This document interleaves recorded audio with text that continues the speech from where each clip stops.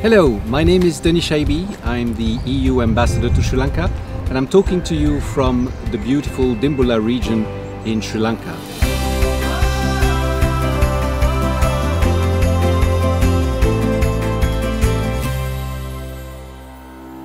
We are here among the tea plantations where the EU has funded a project called the Pekoe Trail.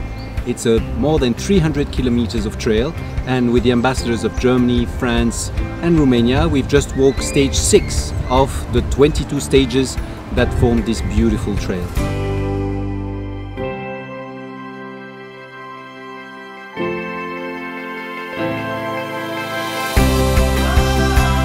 Believe me, I've been to many, many countries in the world, but what you see here, every bend, every turn is magic. It's about the mesmerizing tea plantations and nature all over. Wildlife, beautiful light as you can see. This is unique and I really encourage you, Sri Lankans and foreigners, to come and benefit from this EU funded project.